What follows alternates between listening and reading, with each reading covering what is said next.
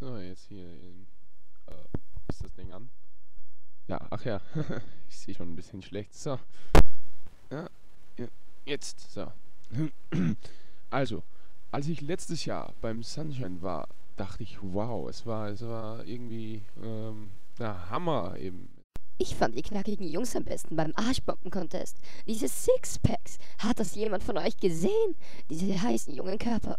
Ich brachte so einer süßen Maus einen Cocktail, als das Open-Air-Kino anfing. Dieser Körper, sie war heiß. Mir war heiß.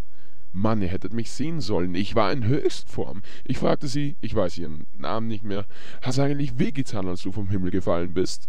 Sie war weg, aber ich blieb cool. Und heuer ist es wieder. 21. August, 15 Uhr im Freibad Mauthausen.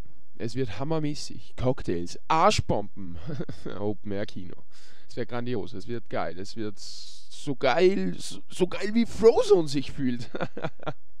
so, ich bin weg.